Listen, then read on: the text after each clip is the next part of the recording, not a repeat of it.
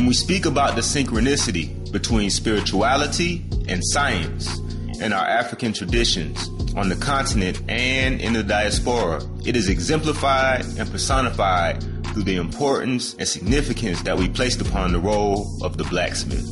From Ptah, the dwarf blacksmith who was called the father of gods in ancient Kemet, to the Heru Shemsu, or the Mesen, the seven blacksmiths who helped Heru defeat chaos in his war against Set, to Ogun, Ogo, or Gu, the name for the West African blacksmith deity, to the eight Nomo blacksmiths of the Dogon people of Mali, to the blacksmith cultures of Meroe in Nubia, the Nok in Nigeria and Benin, the Bambara in Mali, and the Haya people in Tanzania, to the traveling tone created by African blacksmiths during slavery by hammering a certain beat on the anvil to communicate to other slaves the best time to escape to liberation. Blacksmiths have played a central role in African culture, spirituality, and technological development throughout history.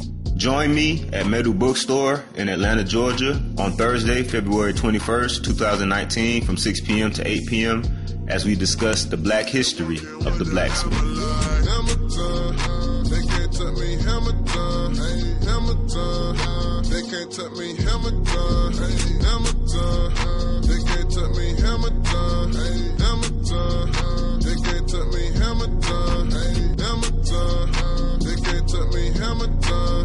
Hamilton, They can't me, Hamilton, Hamilton. Me, Hamilton, Hamilton. Me, Hamilton.